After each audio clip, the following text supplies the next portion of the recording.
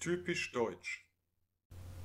Willkommen zur vierten Folge von Typisch Deutsch. Mein Name ist Franklin Tummescheid. Heute geht es um das Thema die deutsche Pünktlichkeit. In Deutschland haben wir ein Sprichwort, das lautet, fünf Minuten vor der Zeit ist es Deutschen Pünktlichkeit.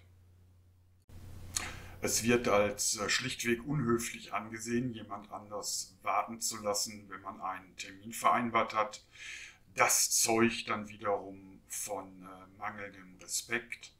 Und man sagt in Deutschland ziemlich klar, wie soll jemand zuverlässig sein, wenn er noch nicht mal pünktlich sein kann.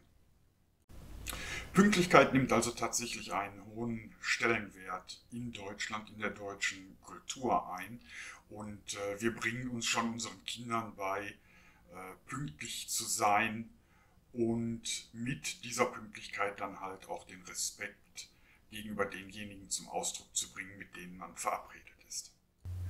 Nun bleibt aber noch die Frage, sind wir Deutschen tatsächlich so pünktlich, wie wir gerne sein möchten? Und äh, es ist nicht ganz so einfach, diese Frage auch objektiv zu beantworten.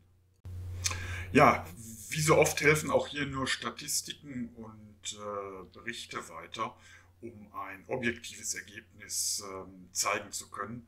Und ich habe hier mal eine Schlagzeile des Tagesspiegels aus dem Januar 2020, der sich mit der Pünktlichkeit der Deutschen Bahn beschäftigt. Nach diesem Artikel ist es mit der Pünktlichkeit der Deutschen Bahn definitiv nicht sehr gut bestellt. Im Jahr 2019 war jeder vierte Fernzug verspätet. Und das, obwohl die Deutsche Bahn sechs Minuten Toleranz gibt. Das heißt, ein Zug gilt erst dann als verspätet, wenn er sechs Minuten nach der angekündigten, mehr als sechs Minuten nach der angekündigten Zeit ankommt. Was natürlich bedeutet, wenn man die angekündigte Zeit als äh, Bemessungsgrenze nimmt, kommen noch viel mehr Fernzüge zu spät. Und äh, diesen objektiven Bericht äh, kann ich aus meinem subjektiven Empfinden nur bestätigen.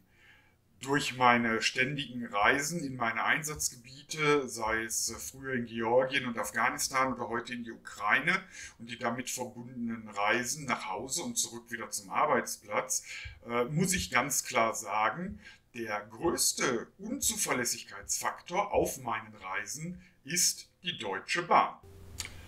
Also bleibt festzustellen, ja, wir Deutschen werden tatsächlich zur Pünktlichkeit erzogen. Pünktlichkeit ist eine, ein wichtiges, na, ich will es nicht Kulturgut nennen, aber es ist halt ein wichtiges äh, Merkmal.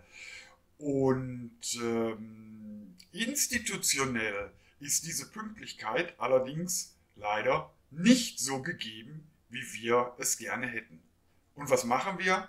Naja, wir richten uns darauf ein. Wenn wir wissen, dass unsere Züge verspätet fahren, dann fahren wir halt einen Zug früher und nehmen in Kauf, dass wir warten müssen. Das ist immer noch besser, als jemand anderen auf uns warten zu lassen. Ja, und somit bleibt mir eigentlich nur noch übrig festzustellen, ja, Pünktlichkeit ist tatsächlich typisch deutsch.